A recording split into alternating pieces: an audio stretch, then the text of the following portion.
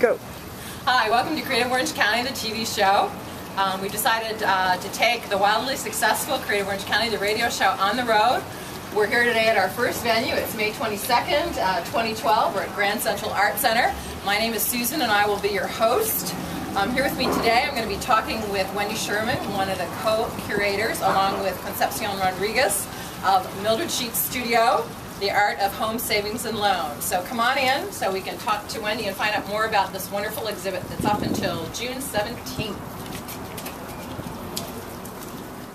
We're here with Wendy Sherman, and Wendy's going to tell us about Millard Sheets Studio, the art of home savings and loan.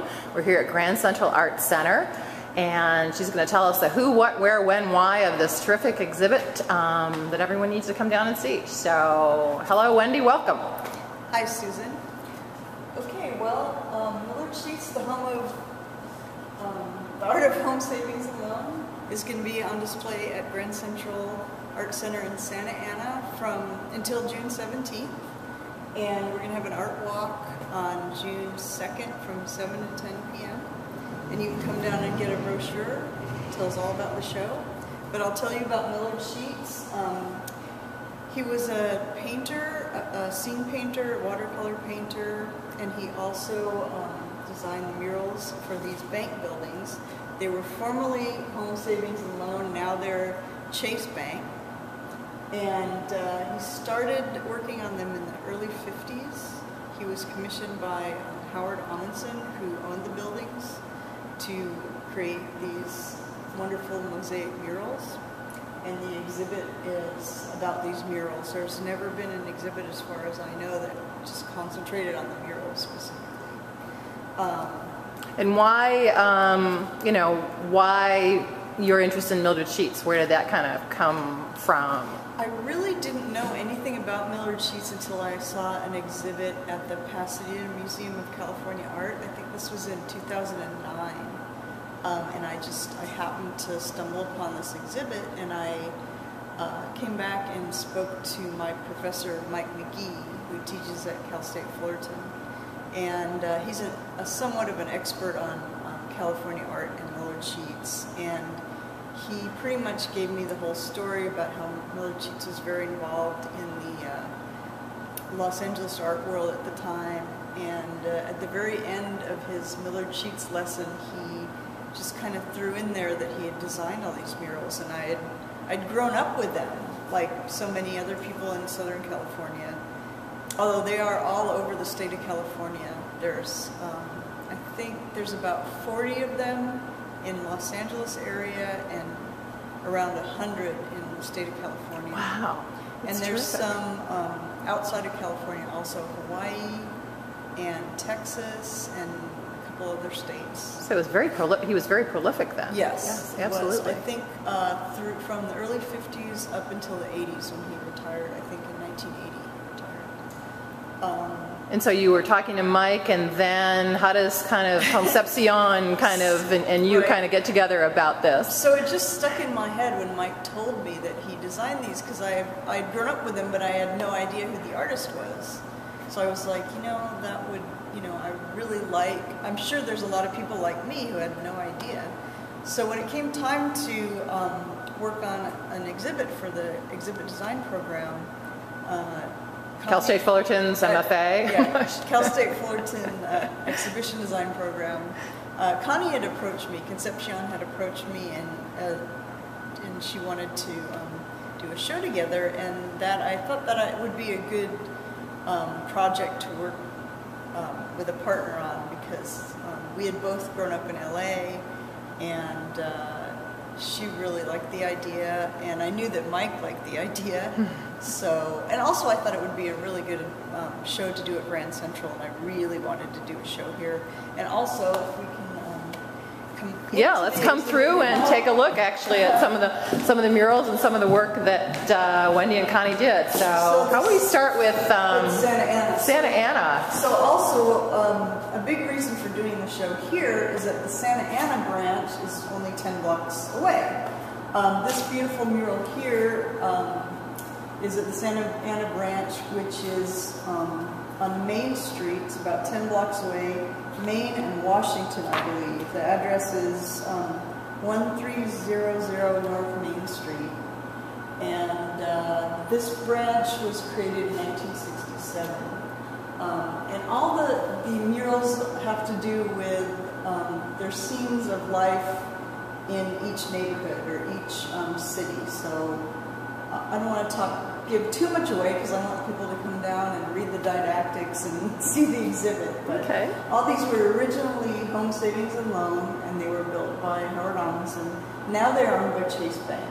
Terrific. They've changed hands a couple times. Well, let's take a look at, we'll move down and we'll And take a look at Anaheim. This is another local branch. This is Anaheim. This one is spectacular. If you haven't seen it, I advise driving by. It's at Lincoln and Harbor in Oh, right, on that, at that And corner. yeah, you can see this is a photo of the original home savings Right there, uh, guys, it's on the corner.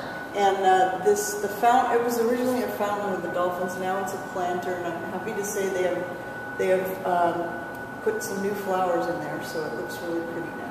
Pretty sharp. And uh, I'm also happy to say that the people that work at this branch are very proud of the artwork, and if you you can go in and talk to them about it, and, and uh, they have a little brochure they'll give you that talks about the mural. So. Wow, and then we've got one in Pomona. Pomona, yes, and this is this is another reason why we want to do the exhibit is to talk about um, what's happening now with these murals, like how are they being preserved for the future because they are getting old. This Pomona is one of the early ones. It's from 1963, and this is one of Millard Sheets' pet projects because Pomona was his hometown.